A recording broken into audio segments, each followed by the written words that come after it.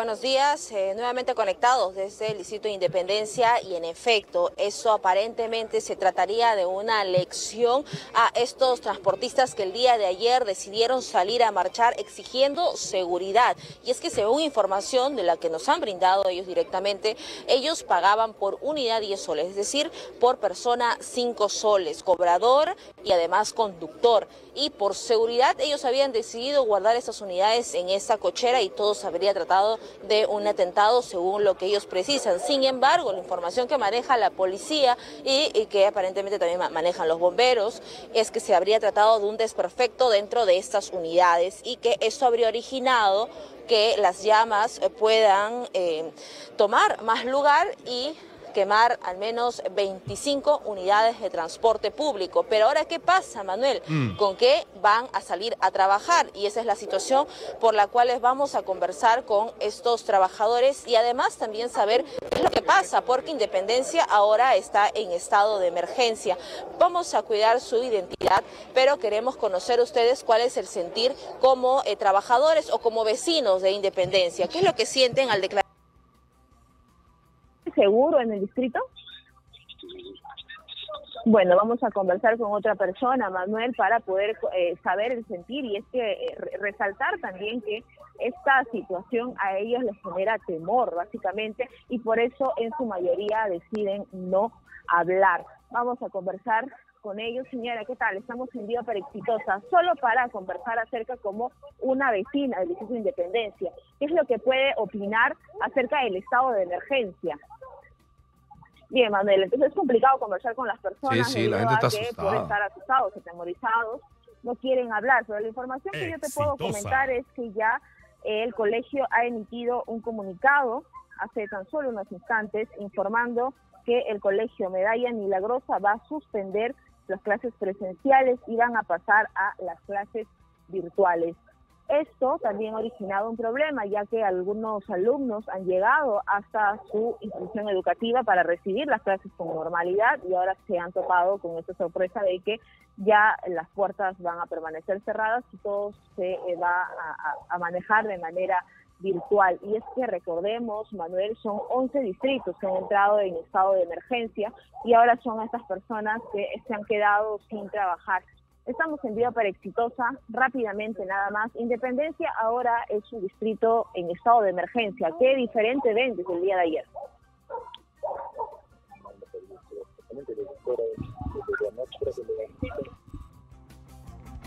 Ok, a ver si retomamos la comunicación con Yacaira. Eh, vamos a ver qué opina la gente con el estado de emergencia que se va a aplicar.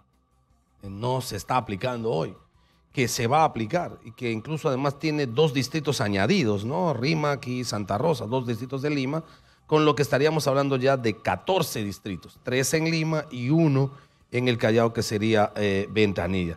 Pero como ustedes están constatando, la gente tiene serios problemas para hablar y dar cuenta porque lógicamente estamos presos del temor y no hay forma de juzgar esto. Estamos con Yacaira, podemos continuar con ella. Eh, está en vivo desde Independencia a propósito de este nuevo hecho que trae dudas, cortocircuito o acción criminal. 25 unidades afectadas, incendiadas completamente en esta cochera en Independencia. Adelante, Yajaira. Manuel, así es. Queremos saber la opinión también de estas personas que se han visto afectados. ¿Qué opinan de esta declaratoria de estado de emergencia por parte del gobierno? Estamos en vida para exitosa. ¿Consideras que la declaración de estado de emergencia del distrito en el cual nos encontramos en Independencia va a haber un cambio? Esperemos que sí, esperemos que sí. O sea, o sea, me refiero a que esperemos que con ese estado de emergencia se realice alguna mejora, ¿no? Aunque dudo mucho. Ahora, ¿ustedes qué van a hacer? ¿Cómo van a trabajar a partir de ahora? No sabemos. No sabemos. Estamos a la espera ahorita de que nos digan algo, de que nos den alguna respuesta, porque hay varios conductores como nosotros que, estamos afectados, ¿no? Que era nuestra principal fuente de ingresos, o sea, para, para responder el día de hoy y ahora estamos sin nada. Estamos no, no sabemos qué hacer. Claro, se habla también acerca de que esto se trataría de un desperfecto en las unidades. ¿Eso sería verdad, mentira? ¿Ustedes lo niegan? No, nosotros nos negamos definitivamente porque nosotros guardamos cerca de 20, 25 años aquí y nunca ha sucedido algo así, nunca, nunca, ni, un siniestro, ni un accidente, nada. y que un día después del paro suceda todo esto es demasiado. Demasiado.